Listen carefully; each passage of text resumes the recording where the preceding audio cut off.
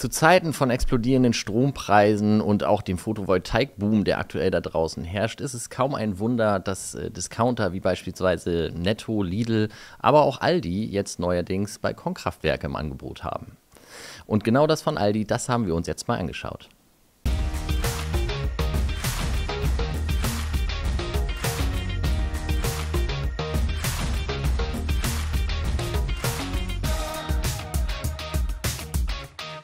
Im Set enthalten sind zwei Solarmodule A 175 Watt, ein 600 Watt Wechselrichter der Firma NEP sowie alle dazugehörigen Anschlusskabel.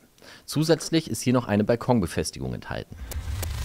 Ja, zwei Module sind mitgeliefert, Solarmodule, die haben jeweils 175 Watt und haben Abmessungen von 1,16 Meter x 77 und eine Dicke von 3,5 Zentimetern.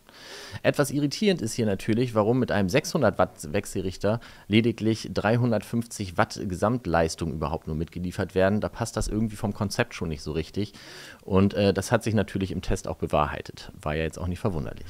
Der Wechselrichter, das Herzstück der Stromtransformation, um letztendlich aus den Solarzellen das einspeisen zu können ins Netz.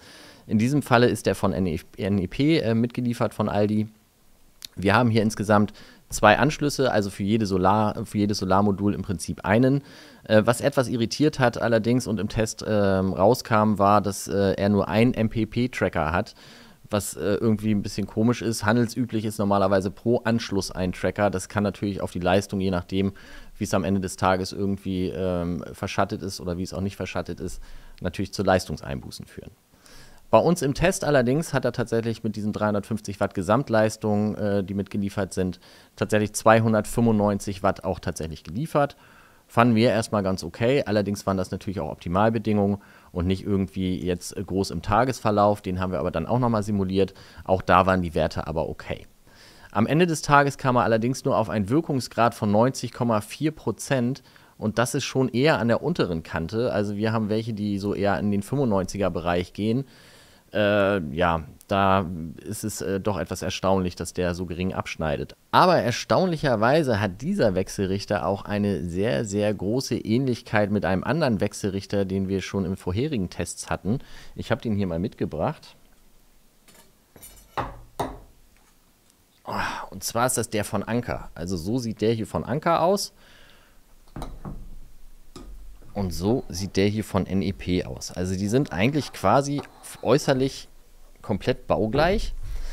Ähm, und wir vermuten innerlich auch, ohne die jetzt destruktiv irgendwie aufgeschraubt zu haben, aber selbst die Versionsnummer der Firmware ist sehr, sehr gleich. Das Datum ist gleich, die Anschlüsse sind gleich, alles ist gleich. Sie unterscheiden sich allerdings um 8 Gramm Gewicht. Wo das jetzt herkam, konnten wir uns auch nicht ganz genau erklären. Und ähm, tatsächlich, der damals von Anker hat nochmal 3% mehr oder ungefähr 3% mehr im Wirkungsgrad. Das hat uns etwas verwundert. Wenn man hier Module mit etwas mehr Leistung ranschraubt, so um die 840 Watt, dann merkt man auch ganz schnell, dass der Wechselrichter auch um die 600 Watt im Peak rausgibt. Ähm, das bedeutet, der Wechselrichter an sich ist natürlich nicht das Hauptproblem, sondern das Konzept dahinter ist eigentlich eher das Problem. Also sprich 350 Watt Solarmodule und dann irgendwie ein 600 Watt Wechselrichter. Ja, es macht halt irgendwie nicht so richtig Sinn. Ähm, Im Test war dieser Wechselrichter jetzt nicht auf die bald gesetzlich wahrscheinlich erlaubten 800 Watt Upgrade fähig. Ähm, muss er jetzt ja auch noch nicht, ist ja auch noch nicht durch das Gesetz, aber wir hätten uns natürlich schon gewünscht, dass man das jetzt hätte man hätte wenigstens sehen können in irgendeiner Form ja, Statistiken und Auswertungen. Wir haben probiert, dieses Gerät ins Netz zu kriegen und es war tatsächlich kein Spaß. Also wer da wirklich starke Nerven hat, der kriegt das auch hin. Wir haben es am Ende natürlich auch geschafft. Aber es ist sehr viel Wartezeit, es ist äh, etwas umständlich. Also da ist wirklich noch Nachbesserungsbedarf.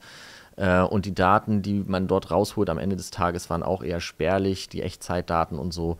Ja, da, da geht noch eine Schippe mehr, würde ich sagen. Ja, empfohlen ist der Wechselrichter bis zu 65 Grad plus und äh, das haben wir natürlich auch ausprobiert. In unserer Klimakammer oder unserem Klimaschrank haben wir es tatsächlich äh, bis auf oder haben wir ihn tatsächlich bis auf 60 Grad aufgeheizt äh, und geguckt, wie dort die Leistungseinbußen sind und mit Bravour tatsächlich bestanden. Ähm, also am Ende des Tages war dies keine Problematik, wobei 60 Grad auch schon wirklich sehr heiß sind. Ähm, da muss man den schon eigentlich absichtlich in die Sonne legen und erzeugt natürlich auch noch Eigenwärme, aber er hat natürlich auch gute Kühlkörper. Im Paket enthalten sind auch solche Haken, um nachher diese Solarmodule an das äh, Balkongeländer zu befestigen. Ja, ich persönlich bin davon nicht ganz überzeugt, weil es ist erstmal so Blech, man sieht das hier auch, man kann das relativ einfach biegen und man kriegt hier auch nicht jedes Geländer durch. Also ist es natürlich auch eher eine kleinere Anlage, also 10 Kilo pro äh, Solarmodul sind ja auch nicht so viel, da muss man nicht ganz so viel halten. Aber ich glaube, ich möchte ganz stark bezweifeln, dass das tatsächlich für jedes Geländer so richtig funktioniert. Und dann fängt man nämlich ganz schnell an, wenn es nicht so richtig passt, hier hin und her zu biegen. Und ob das dann so gut ist ähm, und nicht hier vielleicht so, so Sollbruchstellen entstehen, dazu kann ich äh, aktuell wenig sagen. Aber ich glaube tatsächlich, für die 10 Kilo sollte das einigermaßen hinhauen. Qualitativ hätte ich mir hier ein bisschen mehr versprochen, vielleicht auch eine Polsterung oder so, dass nicht das ganze Geländer gleich verkratzt. Also ich glaube, das wäre schon noch ganz schön gewesen. Ja, was ist unser Fazit zum Komplettpaket von Aldi? Also ähm, ganz ehrlich, das Konzept ist mir nicht ganz schlüssig, warum man äh, nur so wenig Leistung mit, dem, äh, mit den äh, Modulen irgendwie mitliefert und einen Wechselrichter, der da irgendwie deutlich mehr kann. Nichtsdestotrotz, sie sind gut anzubringen. Es ist, ähm, es ist relativ klein anzubringen an jeden kleinen Balkon, das kann man schon machen. Ähm, der Preis ist aber mit 469 Euro doch ziemlich üppig.